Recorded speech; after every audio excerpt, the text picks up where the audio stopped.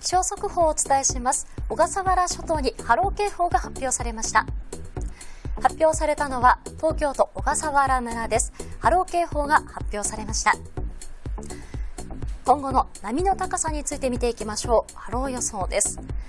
だんだんと波が高くなる予想となっております。特に夕方以降高波に警戒が必要です。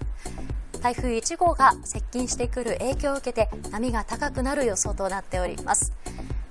海岸付近などは近づかないようにしてください。